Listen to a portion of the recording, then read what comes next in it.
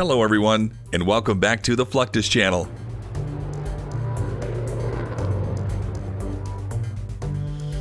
Whether military or commercial, nearly all aircraft are painted in one way or another.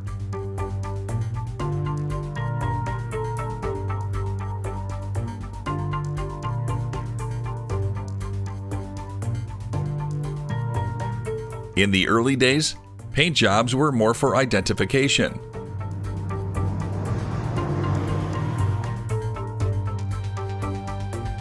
In World War I, nearly all planes looked the same, so they needed bright flags and tail numbers to identify one another.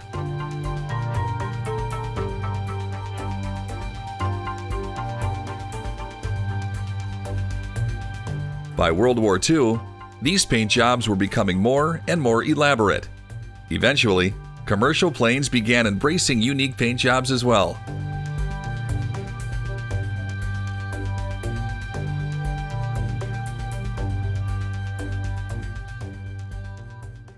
Since the 1960s, it's rare to see an airline that hasn't covered its fleet in logos and brand imagery. Many different processes are used to paint aircraft, some of which are getting more and more advanced as time goes on.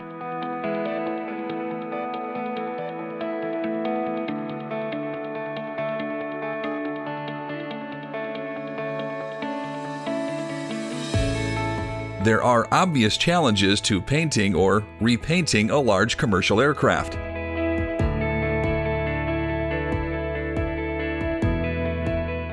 The first is the sheer size of each plane. Indeed, while planes are capable of driving themselves even at low speeds, the resulting thrust from their propellers and jet engines poses a big safety hazard to people and objects on the ground.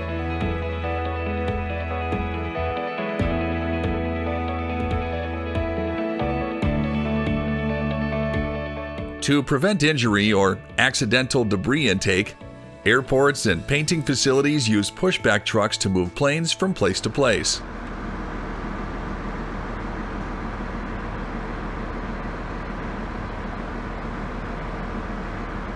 These low-profile vehicles have powerful engines to generate the huge amounts of torque required to move a 200,000-pound aircraft with ease.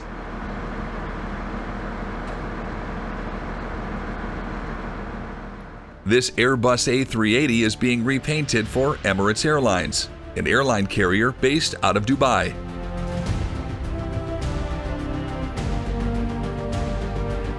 It took 34 people to work 6,000 total hours over two weeks to complete the project. The sheer amount of paint involved in covering a full-size passenger airliner can add a significant amount of weight to the plane.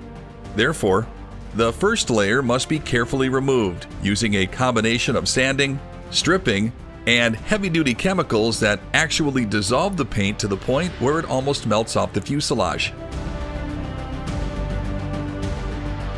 Though the company name, logo, and brand colors are the standard paint job for a commercial aircraft, sometimes an airline may decide to do something a little bit special.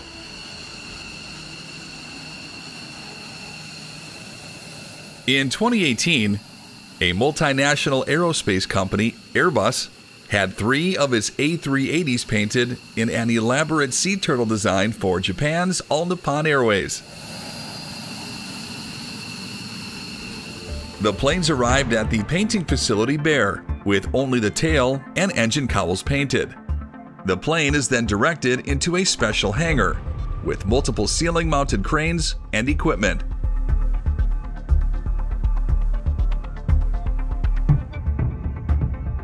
Due to the sheer amount of paint being sprayed at a given time, technicians must wear fully enclosed suits as they apply the primer layer.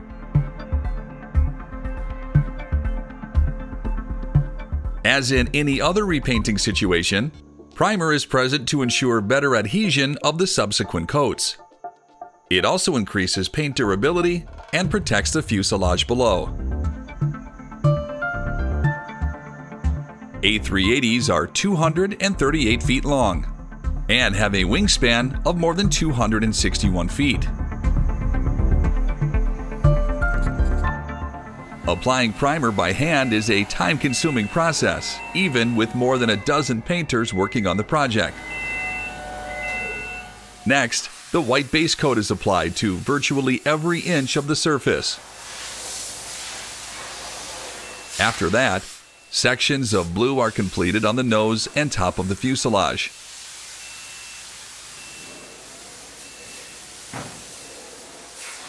In order to create lettering and other sections of the complex design, special stencils are applied to different parts of the aircraft. These stencils are actually designed and printed right at the Airbus facility. The painters can now start adding the details throughout. Some sections are even hand painted just to ensure the correct effect. All in all, it took 21 days for the Airbus team to paint the 39,000 square feet of the aircraft's fuselage. Considered the most elaborate paint job ever done by the manufacturer, a total of 16 different shades of color were utilized to get the final effect.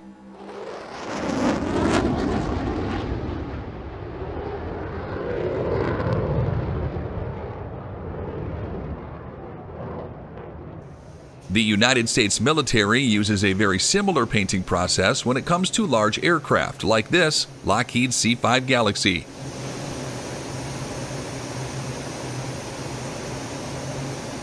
This massive military transport craft is more than 240 feet long and boasts a 222 foot wingspan, making it similar in size to the A380.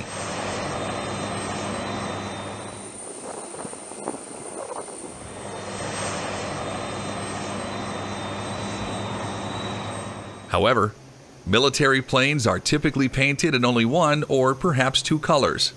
Military gray is the typical color used for cargo planes, as it allows them to blend into the distance when viewed from almost any angle. After the primer is applied, a team of painters will slowly cover the fuselage, wings, and engine cowls. Later, Decals will be used to apply all identification markers, warnings, and other details. Over the decades, the United States military has utilized a number of different paint schemes for different planes. For a time, each squadron could decorate their planes as they saw fit. This led to some very unique color schemes that many people feel are important to preserve. This is generally known as heritage painting, and it's been applied to decommissioned aircraft that end up on display in museums and at air bases worldwide.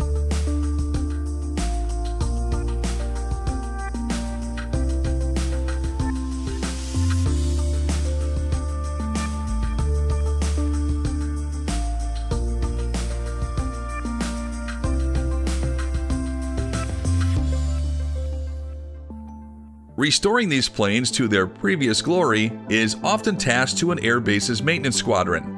However, in certain cases, military historians and even civilians will perform the work in their off time. These men and women will closely study photos of older aircraft so that they can perfectly replicate the original paint scheme down to the tiniest detail.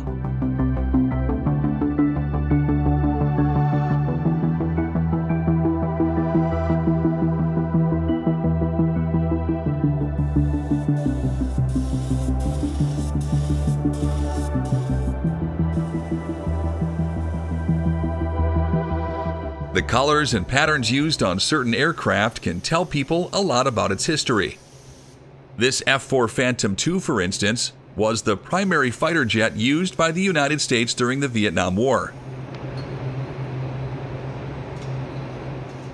In many cases, these aircraft were painted with a green and beige camouflage scheme that helped them blend into the canopy jungle when viewed from above.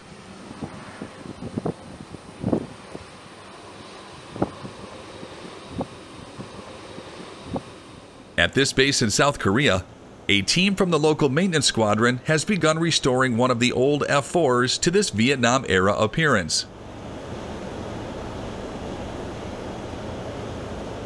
The project involves sanding off much of the old paint and carefully laying down the primer on each section to be repainted.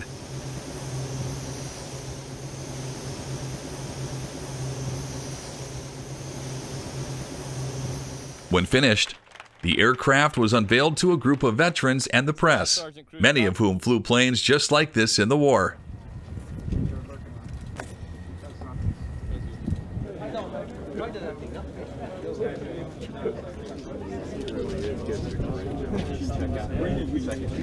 Over the past few decades, dozens of F-4s have been restored and refurbished in this manner.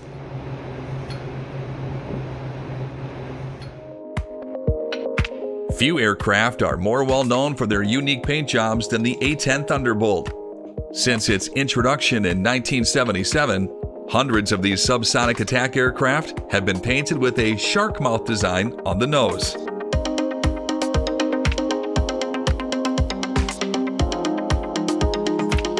Many experts feel this served to highlight the plane's GAU 8 Avenger rotary cannon, which fires huge 30mm rounds at nearly 4,000 rounds per minute.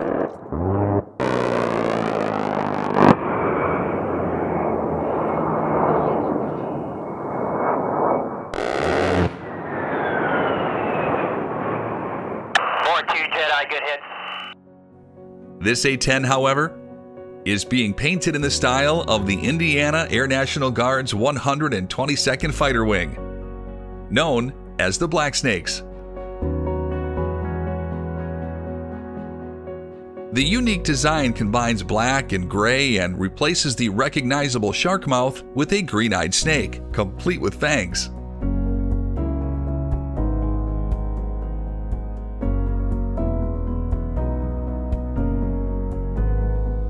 After the restoration, the A-10 is virtually unrecognizable.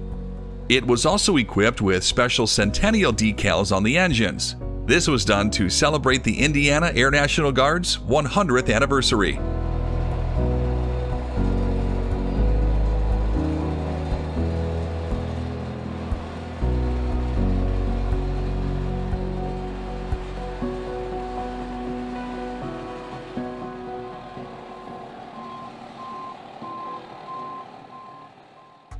Not every military paint job is intended for display. In many cases, an aircraft will simply be given a new coat of paint to improve the look of the plane, while simultaneously preventing corrosion. Over time, exposure to the elements will not only wear the paint, but also weaken the fuselage.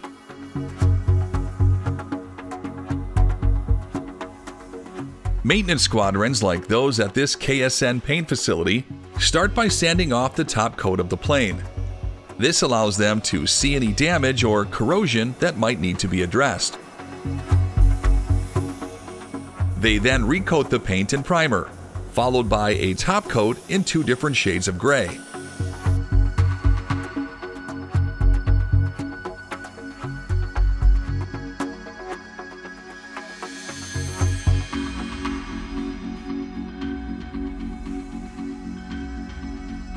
As with the other painting projects, stencils are used to reapply identification information and warnings to the fuselage, wings, tail, and nose.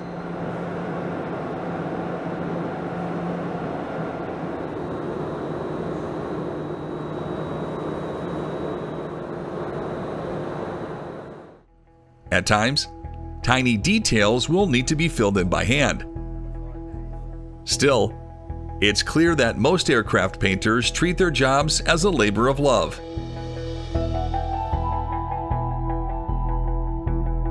Whether it's a newly renovated fighter jet or a giant commercial airliner, a lot of care goes into each paint job.